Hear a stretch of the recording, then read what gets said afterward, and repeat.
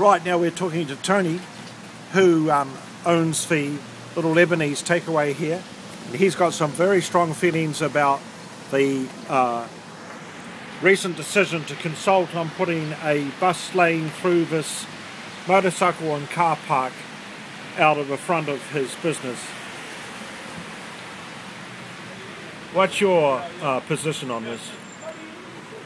I don't like the city council to do it because already when is any event in Courtenay Place, they cut our area from Courtenay Place. They block Courtenay Place and put us out of the zone of Courtenay Place.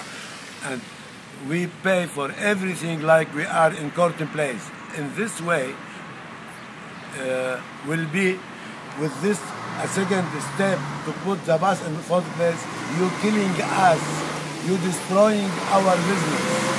We don't like that to happen. Already, last year you closed us down seven weeks, and our business being down 50%. And with the, any event, our business is uh, dead.